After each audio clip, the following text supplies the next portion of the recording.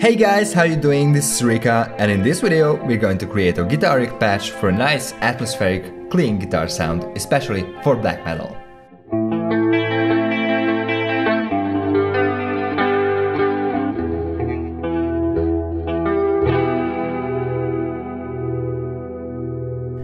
Open up the DAW of your choice and load up Guitar Rig. First, we'll need a compressor. With clean sounds, a compressor is basically a must-have. What it does is decreasing the difference between the most loud and the most quiet parts of the sound by compressing the waveform. The settings of the device depends on what kind of sound you're looking for. If you'd like to keep the dynamic of your playing, go for lower settings. But if you'd like a compressed, squashed sound, then go for more aggressive settings. Now I'll use the stomp compressor, since it's really straightforward. You can hear it instantly gives the track more volume.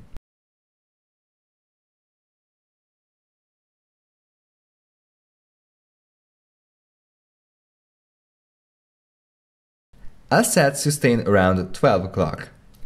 This device has a small meter that shows the amount of the compressing. I'll turn down the threshold to show you how it works. If I play lightly,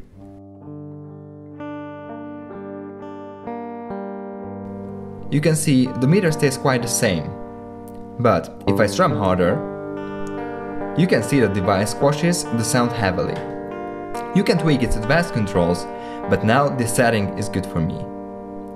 Now we'll need an amp and a cabinet. I use the Jazz amp. That's a remodeling of the Roland Jazz chorus. It has nice clean sound and built-in vibrato and chorus effects, exactly what we need. I'd like to get a sharp tone, so let's turn out the treble and middle channels. I'll give some air to the sound with the mic settings. Let's set up the vibrato effect. Set this lever to vibrato, decrease the depth, and turn up the rate. Don't worry about the chorus effect, it's our next one. You can find it at Modulations, select Ensemble. It has a nice sound out of the box, but now I'll turn the chorus knob down to make it smoother.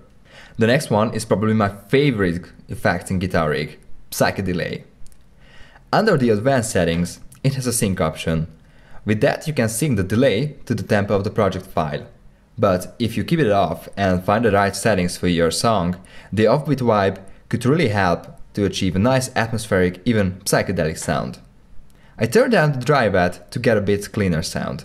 I like to keep the time setting there, this way it has a fuller sound. As a last touch, you can add a reverb. Here I used the studio reverb, again for being simple and straightforward. We have plenty of delay already. With this you can smooth out the tone, remove a bit of sharp, bright tones. Well, the tone is ready, but I'll add some EQ to make it sound more suitable for a whole mix. Cut out the low end and a bit around 300 Hz to avoid bass thumps. Brighten it up with some boost in the middles and bringing up the highs.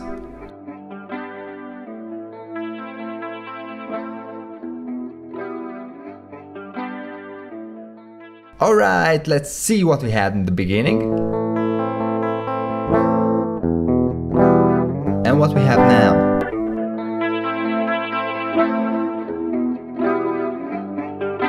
Full and psychedelic.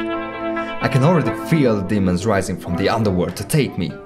If you'd like to get a more gritty sound, you can add some subtle overdrive or turn up the volume for some clip distortion to keep it dark. Hope you guys liked this video and I could help you out. If so, please hit the like button, it's really appreciated, and subscribe for more videos. In the next one, we'll create a true old school black metal guitar tone with a lot of distortion and lo-fi effects. Stay tuned!